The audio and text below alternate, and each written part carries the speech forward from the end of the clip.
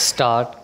ਪੰਜਾਬ ਵਿੱਚ ਕਣਕ ਦੀ ਆਮਦ ਸਿਰ 'ਤੇ ਹੈ, ਪਰ ਇਸ ਦੇ ਮੰਡੀਕਰਨ ਦਾ ਮਾਮਲਾ ਕਈ ਪੱਖਾਂ ਤੋਂ ਹੋਰ ਵੀ ਉਲਝ ਗਿਆ, ਜਾਪਦਾ ਹੈ। ਡੈਂਡੀ ਪਿਛਲੇ ਕੁਝ ਸਾਲਾਂ ਤੋਂ ਕੇਂਦਰ ਸਰਕਾਰ ਪੰਜਾਬ ਸਰਕਾਰ ਨੂੰ ਇਹ ਆਖਦੀ ਰਹੀ ਹੈ ਕਿ ਫਸਲ ਦੀ ਅਦਾਇਗੀ ਸਿੱਧੀ ਕਿਸਾਨਾਂ ਦੇ ਖਾਤਿਆਂ ਵਿੱਚ ਪਾਉਣ ਲਈ ਲੋੜੀਂਦੀ ਵਿਵਸਥਾ ਕੀਤੀ ਜਾਵੇ, ਪਰ ਪੰਜਾਬ ਦੀਆਂ ਸਮਕਾਲੀ ਸਰਕਾਰਾਂ ਨੇ ਇਸ ਨੂੰ ਮੰਨਣ ਤੋਂ ਨਾ ਕਰ ਦਿੱਤੀ ਅਤੇ ਪੁਰਾਣੀ ਵਿਵਸਥਾ ਜਿਸ ਮੁਤਾਬਕ ਕਿਸਾਨਾਂ ਨੂੰ ਆੜਤੀਆਂ ਰਾਹੀਂ ਅਦਾਇਗੀ ਕੀਤੀ ਜਾਂਦੀ ਹੈ, ਨੂੰ ਹੀ ਜਾਰੀ ਰੱਖਿਆ। ਡੰਡੀ, ਪਰ ਹੁਣ ਕੇਂਦਰ ਸਰਕਾਰ ਮੁੜ ਕਿਸਾਨਾਂ ਨੂੰ ਸਿੱਧੀ ਅਦਾਇਗੀ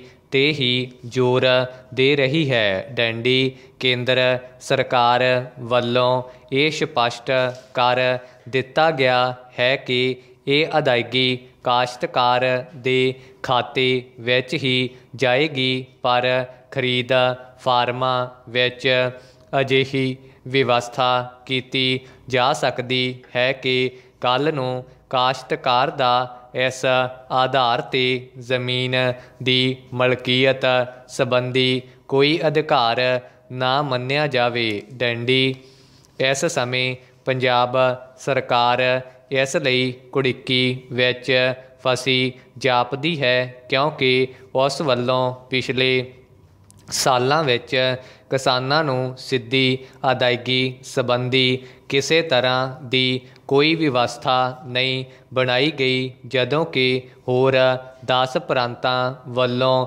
ਸਿੱਧੀ ਅਦਾਇਗੀ ਦਾ ਇਹ ਪ੍ਰਬੰਧ ਅਪਣਾ ਲਿਆ ਗਿਆ ਹੈ ਤੇ ਹੁਣ ਇਸ ਫਸਲ ਤੋਂ ਹਰਿਆਣਾ ਵਿੱਚ ਵੀ ਇਹ ਪ੍ਰਬੰਧ ਚਾਲੂ ਕਰ ਦਿੱਤਾ ਗਿਆ ਹੈ। ਡੈਂਡੀ ਪੰਜਾਬ ਸਰਕਾਰ ਹਾਲੇ ਇਸ ਕਚੋਲੇ ਚੋਂ ਨਹੀਂ ਨਿਕਲ ਸਕੀ ਕਿ ਉਹ ਫਸਲ ਦੀ ਅਦਾਇਗੀ ਸੰਬੰਧੀ ਕੀ ਕਰੇ? ਪ੍ਰਸ਼ਨ ਚਿੰਨ ਇਸ ਬਾਰੇ ਮੁੱਖ ਮੰਤਰੀ ਨੇ ਕੇਂਦਰ ਦੇ ਸੰਬੰਧਿਤ ਮੰਤਰਾਲੇ ਤੋਂ ਅਜਿਹੀ ਵਿਵਸਥਾ ਲਾਗੂ ਕਰਨ ਲਈ ਹੋਰ ਸਮਾਂ ਮੰਗਿਆ ਸੀ, ਪਰ ਕੇਂਦਰੀ ਮੰਤਰੀ ਪਿਊਸ਼ ਗੋਇਲ ਵੱਲੋਂ ਮੁੱਖ ਮੰਤਰੀ ਨੂੰ ਪੱਤਰ ਰਾਹੀਂ ਇਹ ਸਪਸ਼ਟ ਕਰ ਦਿੱਤਾ ਗਿਆ ਹੈ ਕਿ ਹਾੜੀ ਦੀ ਫਸਲ ਕਣਕ ਦੀ ਖਰੀਦ ਲਈ ਸਿੱਧੀ ਅਦਾਇਗੀ ਦੀ ਵਿਵਸਥਾ ਹੀ ਹੋਣੀ ਚਾਹੀਦੀ ਹੈ। ਡੈਂਡੀ, ਇਸ ਸਮੇਂ ਇਹ ਸਵਾਲ ਖੜਾ ਹੋ ਗਿਆ ਹੈ ਕਿ ਰਾਜ ਸਰਕਾਰ ਇਸ ਘਚੋਲੇ ਚੋਂ ਕਿਵੇਂ ਨਿਕਲ ਸਕਦੀ ਕਿਉਂਕਿ ਉਸ ਵੱਲੋਂ 10 ਅਪ੍ਰੈਲ ਤੋਂ ਕਣਕ ਦੀ ਖਰੀਦ ਸ਼ੁਰੂ ਕਰਨ ਦਾ ਐਲਾਨ ਕੀਤਾ ਗਿਆ ਹੈ। ਡੈਂਡੀ ਦੂਜੇ ਪਾਸੇ ਆੜਤੀਆਂ ਵੱਲੋਂ ਕਿਸਾਨਾਂ ਨੂੰ ਸਿੱਧੀ ਅਦਾਇਗੀ ਕੀਤੇ ਜਾਣ ਦਾ ਸਖਤ ਵਿਰੋਧ ਕੀਤਾ ਜਾ ਰਿਹਾ ਹੈ। ਡੈਂਡੀ ਇਥੋਂ ਤੱਕ ਕਿ ਉਹ ਆਉਂਦੇ ਦਿਨਾਂ ਵਿੱਚ ਸੂਬੇ ਭਰ ਦੀਆਂ ਮੰਡੀਆਂ ਬੰਦ ਕਰਨ ਦੇ ਐਲਾਨ ਸੰਬੰਧੀ ਵੀ ਸੋਚ ਰਹੇ ਹਨ। ਡੈਂਡੀ ਇਸ ਵਾਰ ਮੰਡੀਆਂ ਵਿੱਚ 130 ਲੱਖ ਟਨ ਕਣਕ ਪੁੱਜਣ ਦੀ ਸੰਭਾਵਨਾ ਹੈ। ਡੈਂਡੀ, ਅਗਲਾ ਸਵਾਲ ਇਹ ਵੀ ਪੈਦਾ ਹੁੰਦਾ ਹੈ ਕਿ ਜੇਕਰ ਕਿਸੇ ਨਾ ਕਿਸੇ ਤਰ੍ਹਾਂ ਕਣਕ ਖਰੀਦ ਵੀ ਲਈ ਜਾਂਦੀ ਹੈ ਤਾਂ ਉਸ ਨੂੰ ਸਾਂਭਣ ਦੀ ਵਿਵਸਥਾ ਕਿੰਨੇ ਸਮੇਂ ਤੱਕ ਕੀਤੀ ਜਾ ਸਕੇਗੀ ਡੰਡੀ? ਕਿਉਂਕਿ ਪੰਜਾਬ ਦੇ ਗੋਦਾਮ ਪਹਿਲਾਂ ਹੀ ਅਨਾਜ ਨਾਲ ਭਰੇ ਪਏ ਹਨ। ਡੰਡੀ ਜੇਕਰ ਕੇਂਦਰ ਸਰਕਾਰ ਵੱਲੋਂ ਫਸਲ ਚੁੱਕਣ ਵਿੱਚ ਦੇਰੀ ਹੁੰਦੀ ਹੈ ਤਾਂ ਇਸ ਦਾ ਹਰਜਾਨਾ ਵੀ ਸੂਬਾ ਸਰਕਾਰ ਨੂੰ ਹੀ ਭੁਗਤਣਾ ਪੈ ਸਕਦਾ ਹੈ। ਡੈਂਡੀ ਆਉਂਦੇ ਸਮੇਂ ਵਿੱਚ ਅਜਿਹੇ ਹਾਲਾਤ ਪੈਦਾ ਹੋ ਸਕਦੇ ਹਨ, ਜਿਸ ਨਾਲ ਕਿ ਮੰਡੀਕਰਨ ਦਾ ਸਮੁੱਚਾ ਪ੍ਰਬੰਧ ਹੀ ਗੜਬੜਾ ਸਕਦਾ ਹੈ। ਡੈਂਡੀ ਇੱਕ ਪਾਸੇ ਚੱਲ ਰਹੇ ਕਿਸਾਨ ਅੰਦੋਲਨ ਦਾ ਦਬਾਅ ਤੇ ਦੂਜੇ ਪਾਸੇ ਕੁਝ ਮਹੀਨਿਆਂ ਵਿੱਚ ਸਿਰ ਤੇ ਖੜੀਆਂ ਵਿਧਾਨ ਸਭਾ ਦੀਆਂ ਚੋਣਾਂ ਸੂਬੇ ਤੇ ਸਰਕਾਰ ਲਈ ਨਵੀਂ ਆਫਤ ਖੜੀ ਕਰ ਸਕਦੀਆਂ ਹਨ। ਡੰਡੀ ਚਾਹੀਦਾ ਤਾਂ ਇਹ ਸੀ ਕਿ ਇਸ ਵਾਰ ਕਣਕ ਦੀ ਫਸਲ ਦੀ ਖਰੀਦ ਲਈ ਰਾਜ ਸਰਕਾਰ ਸਮੇਂ ਸਿਰ ਕੇਂਦਰ ਨਾਲ ਰਾਬਤਾ ਬਣਾ ਕੇ ਮਸਲੇ ਨੂੰ ਹੱਲ ਕਰਵਾ ਲੈਂਦੀ। ਡੈਂਡੀ ਇਸ ਫਸਲ ਦੀ ਖਰੀਦ ਤੋਂ ਬਾਅਦ ਅਗਲੀ ਫਸਲ ਦੀ ਆਮਦ ਤੋਂ ਪਹਿਲਾਂ ਪਹਿਲਾਂ ਸਾਰੀਆਂ ਸਬੰਧਤ ਧਿਰਾਂ ਇਕੱਠੀਆਂ ਹੋ ਕੇ ਸਾਂਝੇ ਰੂਪ ਵਿੱਚ ਇਸ ਮਸਲੇ ਦੇ ਕਿਸੇ ਸਥਾਈ ਹੱਲ ਲਈ ਆਮ ਸਹਿਮਤੀ ਤੇ ਪੁੱਜਣ ਲਈ ਸੁਹਿਰਦਤਾ ਨਾਲ ਯਤਨ ਕਰਨ ਲਈ ਤਿਆਰ ਹੋ ਜਾਣ। ਡੈਂਡੀ ਅੱਜ ਦੇ ਹਾਲਾਤ ਵਿੱਚ ਸੂਬੇ ਦੀ ਹਰ ਪੱਖੋਂ ਬਿਹਤਰੀ ਲਈ ਅਜਿਹਾ ਹੋਣਾ ਬੇਹੱਦ ਜ਼ਰੂਰੀ ਹੈ, ਡੈਂਡੀ। ਸਟਾਰਟ। ਅੱਜ ਕੱਲ ਜੋ ਬੁਰਾ ਹਾਲ ਹੈ, ਪੰਜਾਬ ਦਾ ਹੋਇਆ ਹੈ, ਇਸ ਵਿੱਚ ਪ੍ਰਮੁੱਖ ਤੌਰ ਤੇ ਪੰਜਾਬ ਦੀਆਂ ਪ੍ਰਮੁੱਖ ਰਾਜਨੀਤਿਕ ਪਾਰਟੀਆਂ ਦਾ ਸਿੱਧਾ ਹੱਥ ਹੈ। ਡੈਂਡੀ ਜਿਸ ਨੇ ਵੀ ਜ਼ੋਰ ਜੁਗਾੜ ਲਾ ਕੇ ਪੰਜਾਬ ਦੀ ਸਿਆਸੀ ਕੁਰਸੀ ਮੱਲੀ, ਉਸ ਨੇ ਪੰਜਾਬ ਨੂੰ ਲੁੱਟਿਆ, ਕੁੱਟਿਆ ਤੇ ਆਪਣੇ ਖਜ਼ਾਨੇ ਭਰ ਭਰਪੂਰ ਕੀਤੇ। ਡੈਂਡੀ ਚੋਣਾਂ ਦੇ ਮੌਸਮ ਵਿੱਚ ਲੋਕਾਂ ਨਾਲ ਬੇਸ਼ੁਮਾਰ ਵਾਅਦੇ ਕਰਕੇ ਉਹਨਾਂ ਨੂੰ ਆਪਣੇ ਵੱਲ ਖਿੱਚਿਆ ਜਾਂਦਾ ਹੈ। ਡੈਂਡੀ ਵੋਟਾਂ ਲਈਆਂ ਜਾਂਦੀਆਂ ਹਨ। ਡੈਂਡੀ ਕੁਰਸੀ ਤੇ ਬੈਠ ਕੇ, ਤੂੰ ਕੌਣ? ਮੈਂ ਕੌਣ?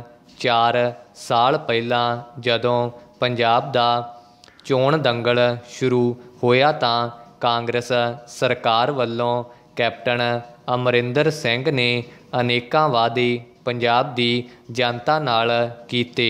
ਡੈਂਡੀ ਕੈਪਟਨ ਸਾਹਿਬ ਨੇ ਤਲਵੰਡੀ ਸਾਬੋ ਦੀ ਪਵਿੱਤਰ ਧਰਤੀ ਤੇ ਗੁਟਕਾ ਚੁੱਕ ਕੇ ਸੌ ਖਾਦੀ ਸੀ ਕਿ ਮੈਂ ਨਸ਼ੇ 4 ਹਫ਼ਤੇ ਵਿੱਚ ਖਤਮ ਕਰ ਦਿਆਂਗਾ। ਡੰਡੀ ਇਹ ਸਭ ਦੇ ਸਾਹਮਣੇ ਹੈ ਕਿ ਕਿ 4 ਹਫ਼ਤੇ ਤਾਂ ਕਿ 4 ਸਾਲ ਵਿੱਚ ਵੀ ਪੰਜਾਬ ਵਿੱਚੋਂ ਨਸ਼ਾ ਖਤਮ ਨਹੀਂ ਹੋਇਆ ਟੈਂਡੀ, ਪਰ ਦੁੱਖ ਉਸ ਵੇਲੇ ਪੁੱਜਾ ਜਦੋਂ 4 ਸਾਲ ਦੀਆਂ ਆਪਣੀਆਂ ਪ੍ਰਾਪਤੀਆਂ ਵਿੱਚ ਕੈਪਟਨ ਸਾਹਿਬ ਸਾਫ਼ ਹੀ ਮੁੱਕਰ ਗਏ ਕਿ ਮੈਂ ਤਾਂ ਇਹ ਗੱਲ ਕਹੀ ਹੀ ਨਹੀਂ। ਡੈਂਡੀ ਕੈਪਟਨ ਸਾਹਿਬ, ਤੁਸੀਂ ਇੱਕ ਧੜੱਲੇਦਾਰ ਮੁੱਖ ਮੰਤਰੀ ਅਖਵਾ ਰਹੇ ਹੋ। ਇਹ ਗੱਲਾਂ ਤੁਹਾਡੇ ਮੂੰਹੋਂ ਪੰਜਾਬ ਪ੍ਰਤੀ ਸ਼ੋਭਾ ਨਹੀਂ ਦਿੰਦੀਆਂ ਹਨ। ਡੰਡੀ,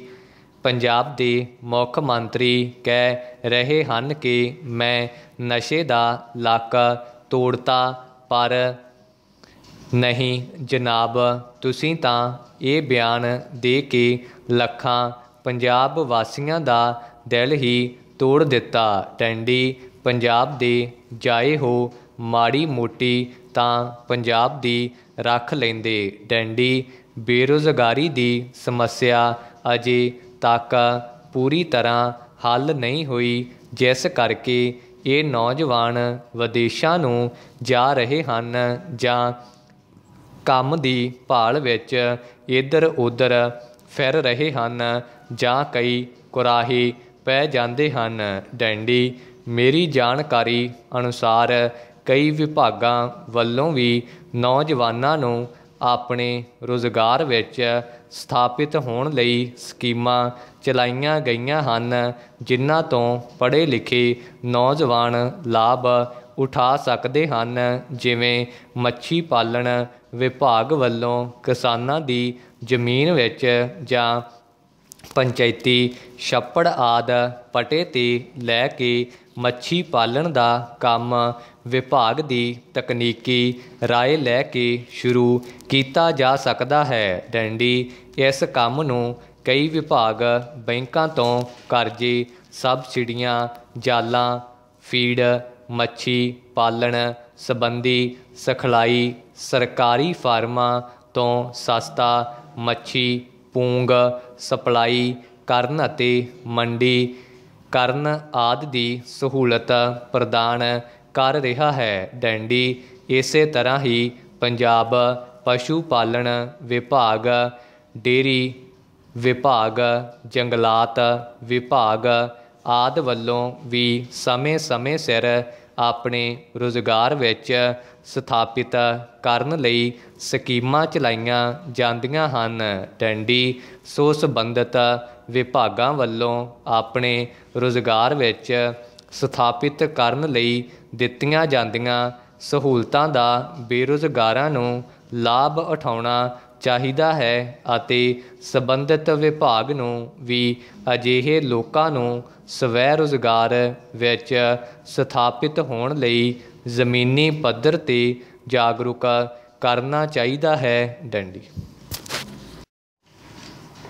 ਸਟਾਕ ਇੱਕ ਸਾਲ ਬਾਅਦ ਵੀ ਕੋਵਿਡ 19 ਮਾਮਲਿਆਂ ਵਿੱਚ ਸੁਧਾਰ ਨਹੀਂ ਹੋ ਰਿਹਾ, ਡੈਂਡੀ। ਰੋਜ਼ਾਨਾ ਕੇਸਾਂ ਦੀ ਗਿਣਤੀ ਦਿਨੋ ਦਿਨ ਵਧ ਰਹੀ ਹੈ ਅਤੇ ਪਿਛਲੇ ਦਿਨੀ ਨੂੰ ਤਕਰੀਬਨ 47000 ਕੇਸਾਂ ਦੀ ਰਿਪੋਰਟ ਕੀਤੀ ਗਈ।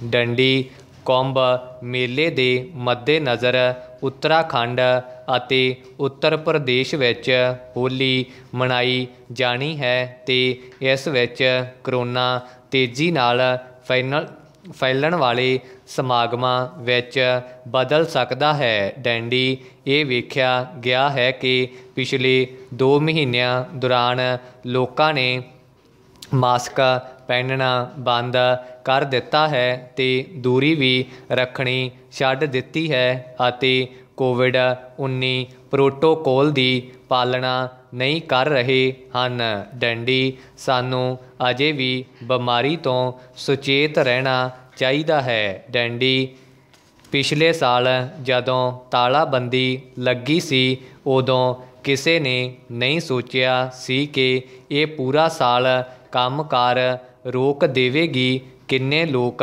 ਬੇਰੁਜ਼ਗਾਰ ਵੱਲ, ਵੱਲੋਂ ਹੱਥ ਧੋ ਬੈਠੇ ਜਨਵਰੀ ਦੇ ਅਖੀਰ ਵਿੱਚ ਪ੍ਰਾਈਵੇਟ ਸਕੂਲ ਖੋਲ੍ਹੇ ਗਏ ਤੇ ਡੇਢ ਮਹੀਨੇ ਮਗਰੋਂ ਸਰਕਾਰ ਨੇ ਫਿਰ ਮੁਕੰਮਲ ਬੰਦ ਕਰ ਦਿੱਤੇ। ਭਾਵੇਂ ਇਸ ਸਾਲ ਕਰੋਨਾ ਦਾ ਡਰ ਪਿਛਲੇ ਸਾਲ ਨਾਲੋਂ ਬਹੁਤ ਘਟ ਗਿਆ ਹੈ, ਲੋਕ ਇਸ ਨੂੰ ਸਰਕਾਰ ਦਾ ਪ੍ਰਾਪੇਗੰਡਾ ਸਮਝ ਰਹੇ ਨੇ, ਜੋ ਵੀ ਹੈ ਪ੍ਰਾਈਵੇਟ ਸਕੂਲ ਬੰਦ ਕਰਨ ਦਾ ਅਸਰ, ਡਰਾਈਵਰ, ਕੰਡਕਟਰ, ਸਫ਼ਾਈ ਕਰਮਚਾਰੀਆਂ ਉੱਪਰ ਸਿੱਧੇ ਤੌਰ ਤੇ ਪਿਆ। ਬਹੁਤੇ ਸਕੂਲਾਂ ਨੇ ਇਹਨਾਂ ਡਰਾਈਵਰਾਂ, ਕੰਡਕਟਰਾਂ ਨੂੰ ਤਨਖਾਹ ਦਿੱਤੀ ਤੇ ਬਹੁਤਿਆਂ ਨੇ ਇਹਨਾਂ ਨੂੰ ਆਪਣੇ ਸਕੂਲ ਦਾ ਹਿੱਸਾ ਹੀ ਨਹੀਂ ਸਮਝਿਆ। ਡੰਡੀ ਹੁਣ ਫਿਰ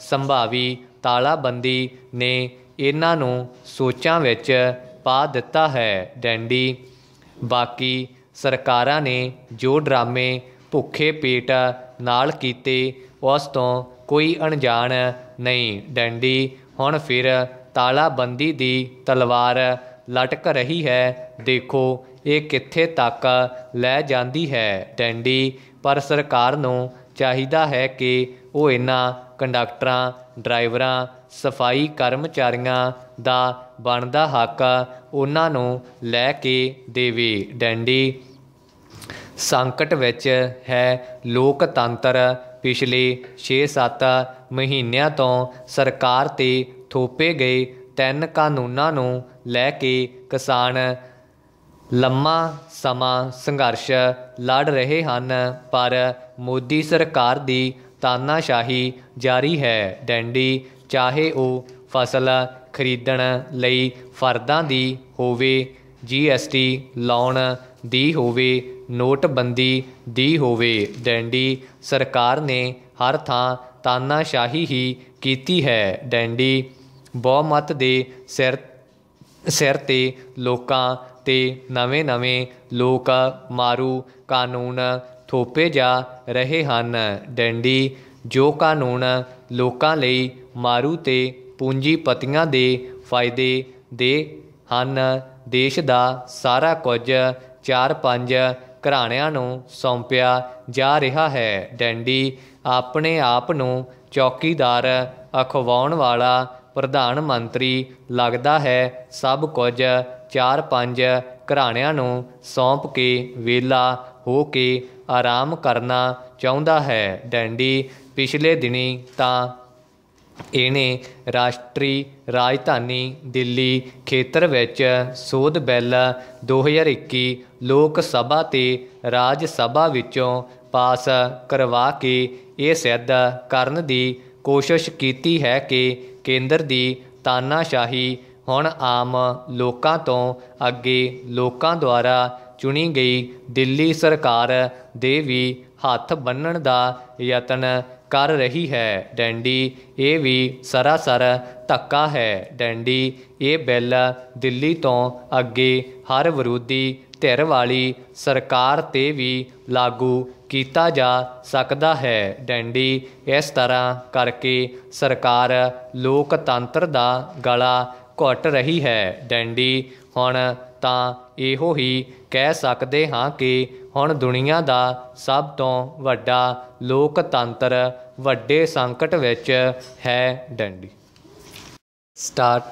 ਬੇਸ਼ੱਕ ਕਿਸੇ ਕਾਰਨ ਜਾਂ ਲਾਲਚ ਕਾਰਨ ਹੋਈ ਮੁਹੱਬਤ ਨੂੰ ਮੁਹੱਬਤ ਨਹੀਂ ਵਪਾਰ ਮੰਨਿਆ ਜਾਂਦਾ ਹੈ ਟੈਂਡੀ, ਪਰ ਇਸ ਦੇ ਉਲਟ ਕਦੇ-ਕਦੇ ਨੇਕ ਨੀਤੀ ਨਾਲ ਚੱਲਦਾ ਵਪਾਰ ਵੀ ਮੁਹੱਬਤ ਵਿੱਚ ਬਦਲ ਜਾਂਦਾ ਹੈ। ਟੈਂਡੀ ਪਿਛਲੇ ਸਮੇਂ ਤੋਂ ਭਾਰਤ, ਪਾਕਿਸਤਾਨ ਸਬੰਧ ਮੁਹੱਬਤ ਵਾਲੀ ਨਹੀਂ, ਸਗੋਂ ਦੁਸ਼ਮਣੀ ਵਾਲੀ ਦਿਖਾਈ ਦੇ ਰਹੇ ਹਨ, ਪਰ ਇਸ ਦੇ ਬਾਵਜੂਦ ਭਾਰਤ ਦੇ ਪ੍ਰਧਾਨ ਮੰਤਰੀ ਨਰਿੰਦਰ ਮੋਦੀ ਵੱਲੋਂ ਪਾਕਿਸਤਾਨ ਅਤੇ ਭਾਰਤ ਦੇ ਰਿਸ਼ਤਿਆਂ ਤੇ ਜੰਮੀ ਬਰਫ਼ ਪਿਘਲਾਉਣ ਲਈ ਕੀਤੀ ਪਹਿਲ ਦੇ ਕੁਝ ਸਾਰਥਿਕ ਰੰਗ ਦਿਖਾਈ ਦੇਣ ਲੱਗੇ ਹਨ। ਡੈਂਡੀ ਭਾਰਤ ਨੇ ਪਹਿਲਾਂ ਪਾਕਿਸਤਾਨ ਨੂੰ ਕਰੋਨਾ ਵੈਕਸੀਨ ਦੀਆਂ 4.5 ਕਰੋੜ 45 ਮਿਨੀ, ਮਿਲੀਅਨ ਖੁਰਾਕਾਂ ਦੇਣ ਦਾ ਫੈਸਲਾ ਲਿਆ। ਡੈਂਡੀ ਫਿਰ ਪਾਕਿਸਤਾਨ ਦੇ ਪ੍ਰਧਾਨ ਮੰਤਰੀ ਇਮਰਾਨ ਖਾਨ ਦੀ ਮਿਜਾਜ ਪੁਰਸੀ ਅਤੇ ਉਹਨਾਂ ਦੇ ਜਲਦ ਸਿਹਤਯਾਬ ਹੋਣ ਦੀ ਦੁਆ ਕੀਤੀ ਅਤੇ ਪਾਕਿਸਤਾਨ ਦਿਵਸ ਤੇ ਮੁਬਾਰਕਬਾਦ ਦਿੱਤੀ।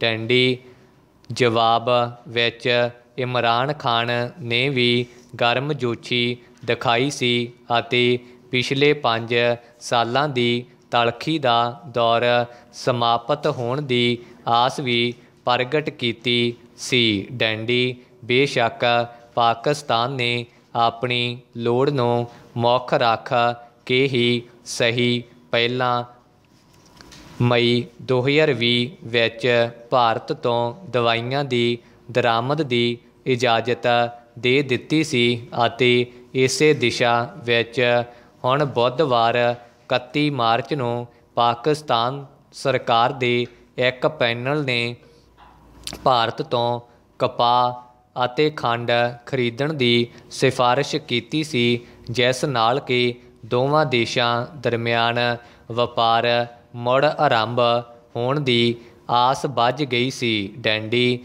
ਇੱਥੇ ਵਰਣਨਯੋਗ ਹੈ ਕਿ ਭਾਰਤ ਵੱਲੋਂ ਜੰਮੂ ਕਸ਼ਮੀਰ ਤੋਂ ਧਾਰਾ 370 ਖਤਮ ਕਰਨ ਅਤੇ ਰਾਜ ਨੂੰ ਦੋ ਕੇਂਦਰ ਪ੍ਰਸ਼ਾਸਿਤ ਰਾਜਾਂ ਵਿੱਚ ਵੰਡਣ ਦੇ ਫੈਸਲੇ ਤੋਂ ਬਾਅਦ ਪਾਕਿਸਤਾਨ ਨੇ ਦੁਵੱਲਾ ਵਪਾਰ ਬੰਦ ਕਰ ਦਿੱਤਾ ਸੀ। ਡੈਂਡੀ, ਪਰ ਇੱਕ ਦਿਨ ਬਾਅਦ ਭਾਵ ਅੱਜ ਹੀ ਪਾਕਿਸਤਾਨ ਸਰਕਾਰ ਨੇ ਉਕਤ ਸਰਕਾਰੀ ਪੈਨਲ ਦੇ ਫੈਸਲੇ ਨੂੰ ਪਲਟ ਦਿੱਤਾ ਹੈ। ਡੈਂਡੀ ਇਮਰਾਨ ਸਰਕਾਰ ਨੇ ਦੁਹਰਾਇਆ ਹੈ ਕਿ ਜਦੋਂ ਤੱਕ ਜੰਮੂ ਕਸ਼ਮੀਰ ਵਿੱਚ ਧਾਰਾ 370 ਮੁੜ ਬਹਾਲ ਨਹੀਂ ਕੀਤੀ ਜਾਂਦੀ, ਭਾਰਤ ਨਾਲ ਵਪਾਰ ਆਰੰਭ ਨਹੀਂ ਕੀਤਾ ਜਾਏਗਾ। ਡੈਂਡੀ ਇਸ ਨਾਲ ਦੋਵਾਂ ਦੇਸ਼ਾਂ ਵਿਚਕਾਰ ਸਬੰਧ ਸੁਧਰਨ ਤੇ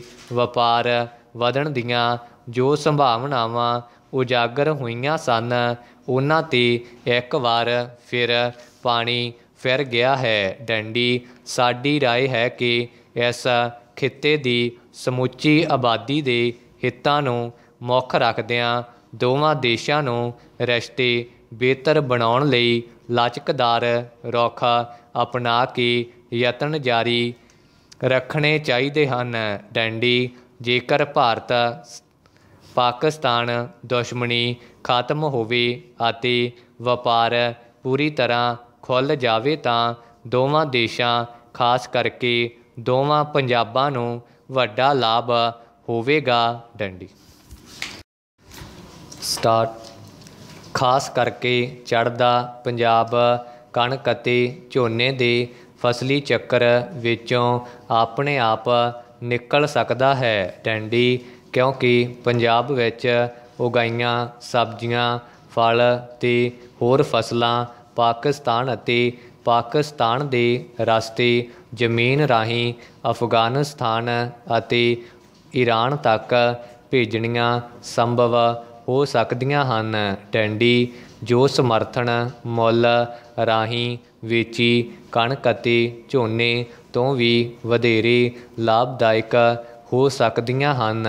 ਡੈਂਡੀ, ਸਬੰਧ ਸੁਧਰਨ ਨਾਲ ਅਟਾਰੀ, ਵਹਾਗਾ, ਸਰਹੱਦ ਤੋਂ ਇਲਾਵਾ ਹੁਸੈਨੀਵਾਲਾ ਬਾਰਡਰ ਵੀ ਵਪਾਰ ਲਈ ਖੁੱਲ ਸਕੇਗਾ, ਜਿਸ ਨਾਲ ਪੰਜਾਬ ਵਿੱਚ ਰੁਜ਼ਗਾਰ ਦੇ ਵੀ ਬੇਅੰਤ ਮੌਕੇ ਪੈਦਾ ਹੋਣਗੇ, ਡੈਂਡੀ। ਅਸੀਂ ਸਮਝਦੇ ਹਾਂ ਕਿ ਬੇਸ਼ੱਕ ਮੁਹੱਬਤ ਵਿੱਚ ਵਪਾਰ ਬੁਰਾ ਹੈ, ਪਰ ਜੇ ਵਪਾਰ ਮੁਹੱਬਤ ਵਿੱਚ ਬਦਲ ਜਾਏ ਤਾਂ ਬਹੁਤ ਚੰਗਾ ਹੈ, ਡੈਂਡੀ। ਦੋਵਾਂ ਦੇਸ਼ਾਂ ਨੂੰ ਇਸ ਦਿਸ਼ਾ ਵਿੱਚ ਤੁਰਨਾ ਚਾਹੀਦਾ ਹੈ, ਡੈਂਡੀ। ਕੇਂਦਰ ਸਰਕਾਰ ਨੇ ਪੰਜਾਬ ਸਰਕਾਰ ਨੂੰ ਸਾਫ਼ ਕਹਿ ਦਿੱਤਾ ਹੈ ਕਿ ਹਾੜੀ ਦੀਆਂ ਫਸਲਾਂ ਦੀ ਖਰੀਦ ਦੀ ਅਦਾਇਗੀ ਸਿੱਧੀ ਕਿਸਾਨਾਂ ਦੇ ਖਾਤਿਆਂ ਵਿੱਚ ਪਾਉਣ ਦਾ ਫੈਸਲਾ ਵਾਪਸ ਨਹੀਂ ਲਿਆ ਜਾਵੇਗਾ ਅਤੇ ਨਾ ਹੀ ਇਸ ਮਾਮਲੇ ਵਿੱਚ ਹੁਣ ਮਿਆਦ ਹੀ ਵਧਾਈ ਜਾਵੇਗੀ ਡੈਂਡੀ, ਜਿੱਥੋਂ ਤੱਕ ਲੀਜ਼ ਜਾਂ ਠੇਕੇ ਤੇ ਲਈ ਜ਼ਮੀਨ ਬਾਰੇ ਅਦਾਇਗੀ ਦੇ ਫਿਕਰ ਦਾ ਸਬੰਧ ਹੈ ਇਸ ਬਾਰੇ ਉਹਨਾਂ ਨੇ ਹਰਿਆਣਾ ਦੀ ਤਰਜ਼ ਦਾ ਸਾਫਟਵੇਅਰ ਵਰਤਣ ਦੀ ਸਲਾਹ ਦਿੱਤੀ ਹੈ ਅਤੇ ਇਹ ਨੋਟ ਦੇਣ ਲਈ ਵੀ ਕਿਹਾ ਹੈ ਕਿ ਇਹ ਅਦਾਇਗੀ ਜ਼ਮੀਨ ਦੇ ਮਾਲਕੀ ਦੇ ਦਾਅਵੇ ਦਾ ਸਬੂਤ ਨਹੀਂ ਹੋਵੇਗੀ। ਡੈਂਡੀ, ਇਸ ਸਥਿਤੀ ਵਿੱਚ ਇਹ ਆਮ ਪ੍ਰਭਾਵ ਬਣਦਾ ਜਾ ਰਿਹਾ ਹੈ ਕਿ ਕੇਂਦਰ ਸਰਕਾਰ ਪੰਜਾਬ ਸਰਕਾਰ ਨੂੰ ਕਣਕ ਦੀ ਖਰੀਦ ਲਈ ਤਦ ਤੱਕ ਰਾਸ਼ੀ ਜਾਰੀ ਨਹੀਂ ਕਰੇਗੀ, ਜਦੋਂ ਤੱਕ ਉਹ ਕਿਸਾਨਾਂ ਦੇ ਖਾਤੇ ਵਿੱਚ ਸਿੱਧੀ ਅਦਾਇਗੀ ਪਾਉਣ ਦੀ ਗੱਲ ਨਹੀਂ ਮੰਨਦੀ। ਡੈਂਡੀ, ਇਸ ਕਰਕੇ ਪੰਜਾਬ ਸਰਕਾਰ 10 ਅਪ੍ਰੈਲ ਤੋਂ ਕਣਕ ਦੀ ਸਰਕਾਰੀ ਖਰੀਦ ਨਹੀਂ ਕਰ ਸਕੇਗੀ। ਡੈਂਡੀ, ਇਸ ਵੇਲੇ ਐਮਐਸਪੀ ਤੇ ਖਰੀਦ ਕਰਨ ਵਾਲੇ 12 ਵਿੱਚੋਂ 11 ਰਾਜ ਕੇਂਦਰ ਦੀ ਕਿਸਾਨਾਂ ਨੂੰ ਸਿੱਧੀ ਅਦਾਇਗੀ ਦੀ ਸ਼ਰਤ ਮੰਨ ਚੁੱਕੇ ਹਨ, ਜਿਸ ਤੋਂ ਸਾਫ਼ ਦਿਖਾਈ ਦਿੰਦਾ ਹੈ ਕਿ ਦੇਰ ਸਵੇਰ ਪੰਜਾਬ ਸਰਕਾਰ ਨੂੰ ਵੀ ਇਹ ਸ਼ਰਤ ਮੰਨਣੀ ਪਵੇਗੀ, ਪਰ ਹਾਲ ਦੀ ਘੜੀ ਪੰਜਾਬ ਸਰਕਾਰ ਰਾਜਨੀਤਿਕ ਹਾਲਾਤ ਨੂੰ ਵੇਖਦਿਆਂ ਇਹ ਸ਼ਰਤ ਕਦਾਚਿਤ ਨਹੀਂ ਮੰਨੇਗੀ ਡੈਂਡੀ, ਕਿਉਂਕਿ ਇੱਕ ਤਾਂ ਕਿਸਾਨ ਅੰਦੋਲਨ ਦਾ ਦਬਾਅ ਹੈ ਅਤੇ ਉੱਪਰੋਂ 2022 ਵਿਧਾਨ ਸਭਾ ਦੀਆਂ ਚੋਣਾਂ ਹਨ। ਡੈਂਡੀ, ਇਸ ਲਈ ਪੰਜਾਬ ਸਰਕਾਰ ਹਰ ਨੁਕਸਾਨ ਸਹਿ ਕੇ ਵੀ ਪੰਜਾਬ ਦੇ ਮੰਡੀਕਰਨ ਢਾਂਚੇ ਵਿੱਚ ਕਿਸੇ ਤਬਦੀਲੀ ਲਈ ਸਹਿਮਤ ਨਹੀਂ ਹੋਵੇਗੀ। ਡੈਂਡੀ, ਤਾਜ਼ਾ ਖਬਰ ਅਨੁਸਾਰ ਪੰਜਾਬ ਦੇ ਮੁੱਖ ਮੰਤਰੀ ਕੈਪਟਨ ਅਮਰਿੰਦਰ ਸਿੰਘ ਨੇ ਆੜਤੀਆਂ ਨਾਲ ਇੱਕ ਮੀਟਿੰਗ ਵਿੱਚ ਮੁੜ ਭਰੋਸਾ ਦਿਵਾਇਆ ਹੈ ਕਿ ਪੰਜਾਬ ਸਰਕਾਰ ਕੇਂਦਰ ਸਰਕਾਰ ਦੇ ਕਿਸਾਨਾਂ ਨੂੰ ਸਿੱਧੀ ਅਦਾਇਗੀ ਦੇ ਫੈਸਲੇ ਨੂੰ ਨਹੀਂ ਮੰਨੇਗੀ। ਟੈਂਡੀ ਉਂਝ ਕੇਂਦਰ ਨਾਲ ਗੱਲ ਕਰਕੇ ਮਸਲੇ ਨੂੰ ਹੱਲ ਕਰਨ ਦੇ ਯਤਨ ਸ਼ੁਰੂ ਕੀਤੇ ਜਾਣਗੇ। ਡੰਡੀ ਸਟਾਰਟ ਬਾਅਦ ਵਿੱਚ ਆਵੇਗੀ ਮੁਸ਼ਕਲ, ਅਸਲ ਵਿੱਚ ਪੰਜਾਬ ਸਰਕਾਰ ਨੂੰ ਕਣਕ ਖਰੀਦਣ ਵਿੱਚ ਕੋਈ ਮੁਸ਼ਕਲ ਆਉਣ ਦੀ ਸੰਭਾਵਨਾ ਘੱਟ ਹੀ ਹੈ, ਪਰ ਖਰੀਦ ਤੋਂ ਬਾਅਦ ਕੇਂਦਰ ਸਰਕਾਰ ਤੇ ਐਫਸੀਆਈ ਵੱਲੋਂ ਖਰੀਦ ਕਣਕ ਨੂੰ ਚੁੱਕਣ ਅਤੇ ਰਿਜ਼ਰਵ ਬੈਂਕ ਤੋਂ ਲਈ ਕਰੀਬ 25000 ਕਰੋੜ ਰੁਪਏ ਦੀ ਰਕਮ ਦੀ ਵਾਪਸੀ ਪੰਜਾਬ ਸਰਕਾਰ ਦੇ ਗਲੇ ਦਾ ਫੰਦਾ ਬਣ ਸਕਦੀ ਹੈ। ਡੈਂਡੀ, ਪੰਜਾਬ ਦੇ ਖੁਰਾਕ ਸਪਲਾਈ ਮੰਤਰੀ ਭਾਰਤ ਭੂਸ਼ਣ, ਆਸ਼ੂ ਸੰਯੁਕਤ ਕਿਸਾਨ ਮੋਰਚੇ ਦੇ ਪ੍ਰਮੁੱਖ ਆਗੂ ਬਲਵੀਰ ਸਿੰਘ, ਰਾਜੇਵਾਲ ਅਤੇ federation of arhtiya association Punjab ਦੇ ਪ੍ਰਧਾਨ ਵਿਜੇ ਕਾਲੜਾ ਤਿੰਨੇ ਇਸ ਗੱਲ ਨਾਲ ਸਹਿਮਤ ਹਨ ਕਿ ਕਣਕ ਦੀ ਖਰੀਦ ਲਈ ਪੰਜਾਬ ਸਰਕਾਰ ਨੂੰ ਰਿਜ਼ਰਵ ਬੈਂਕ ਤੋਂ ਕੈਸ਼ ਕ੍ਰੈਡਿਟ, ਲਿਮਟ ਸੀਸੀਐਲ ਨਗਦ ਕਰਜ਼ਾ ਹੱਦ ਮਿਲਣ ਵਿੱਚ ਕੋਈ ਮੁਸ਼ਕਲ ਨਹੀਂ, ਡੈਂਡੀ।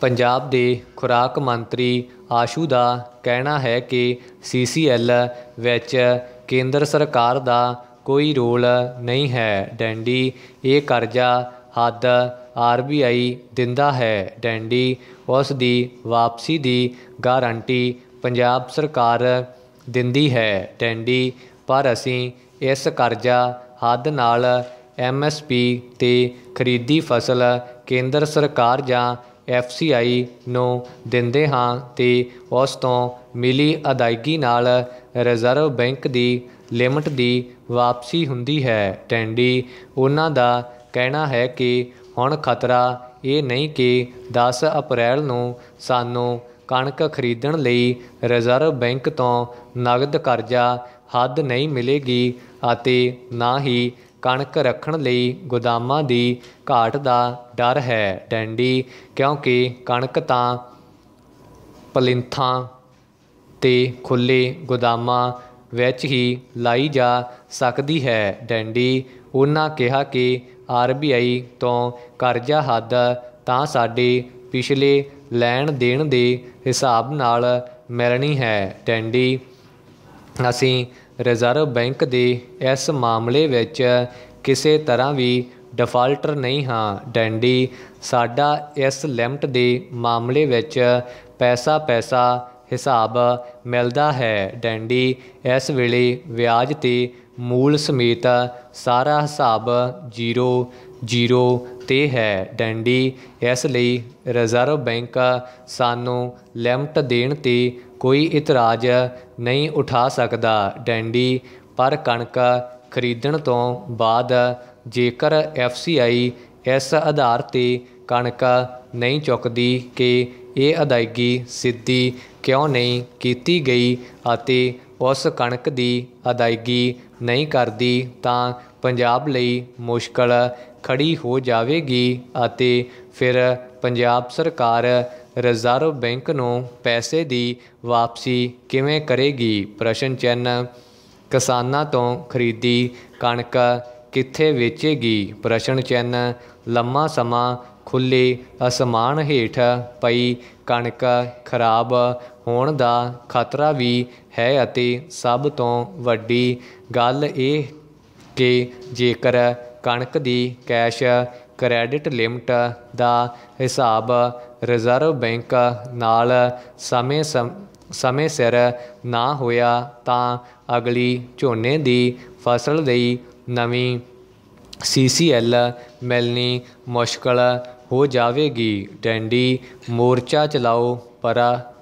ਪਰ ਜਰਾ ਸੰਭਾਲ ਕੇ। ਡੈਂਡੀ, ਇਹ ਠੀਕ ਹੈ ਕਿ ਕਿਸਾਨ ਮੋਰਚੇ ਪ੍ਰਤੀ ਭਾਜਪਾ ਤੇ ਉਸ ਦੀ ਸਰਕਾਰ ਦਾ ਵਤੀਰਾ ਅਸੰਵੇਦਨਸ਼ੀਲ ਹੈ। ਡੈਂਡੀ 300 ਤੋਂ ਵਧੇਰੇ ਕਿਸਾਨ ਜਾਨਾਂ ਗਵਾ ਚੁੱਕੇ ਹਨ, ਪਰ ਭਾਜਪਾ ਦੀ ਕੇਂਦਰ ਸਰਕਾਰ ਰਾਜ ਹੱਠ ਤੇ ਅੜੀ ਹੋਈ ਹੈ। ਡੈਂਡੀ ਕਿਸਾਨ ਵੀ ਤਿੰਨ ਕਾਨੂੰਨਾਂ ਨੂੰ ਰੱਦ ਕਰਵਾਉਣ ਤੇ ਡਟੇ ਹੋਏ ਹਨ।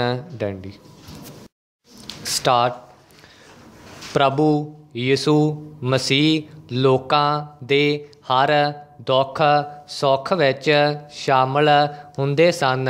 ਡੰਡੀ ਉਹਨਾਂ ਨੇ ਉਹਨਾਂ ਨੂੰ ਸਮਝਾਇਆ ਕਿ ਨੇਕੀ, ਸਚਾਈ ਅਤੇ ਧਰਮ ਦੇ ਸਹੀ ਅਰਥ ਕੀ ਹਨ? ਪ੍ਰਸ਼ਨ ਚਿੰਨ ਇਸੇ ਕਾਰਨ ਭਾਵੇਂ ਉਸ ਸਮੇਂ ਦੁਨੀਆ ਦੀ ਆਬਾਦੀ ਬਹੁਤ ਘੱਟ ਸੀ, ਫਿਰ ਵੀ ਹਜ਼ਾਰਾਂ ਲੋਕ ਉਹਨਾਂ ਨੂੰ ਸੁਣਨ ਲਈ ਇਕੱਠੇ ਹੋ ਜਾਂਦੇ ਸਨ।